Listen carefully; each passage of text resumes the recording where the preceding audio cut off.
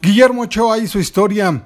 El futbolista se convirtió en el primer mexicano en ganar en cuatro ocasiones la Copa Oro, después del título que obtuvo el Tri ante Estados Unidos en la actual edición.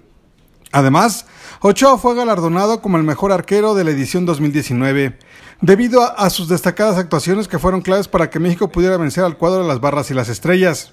El primer título que obtuvo Ochoa con el Tri fue en el 2009, después en el 2011, 2015 y 2019.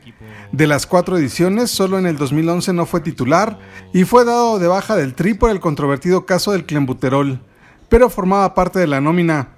De esta forma, Ochoa llegó a cuatro títulos para convertirse en el máximo ganador de Copa Oro en la historia del Tri. Estamos, muy contentos, ¿no? sobre todo el grupo, el grupo, porque no es un torneo fácil, no me ha tocado vivirlo muchas veces y es un torneo que, que te complica mucho cualquier rival, que por ahí en el papel parece sencillo y lo, como le dije hace rato son partidos trampa, ¿no?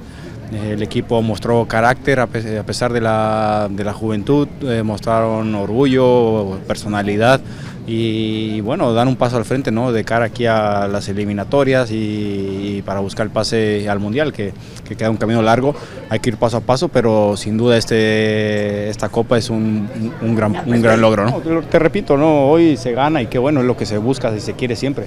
Y si se hubiera perdido también, llegas a una final, a veces parece que, que no vale tanto, ¿no? Y, y, se nos quita de repente ese mérito y, y ponen la palabra obligación y eso no existe en la selección, existe compromiso y existe responsabilidad.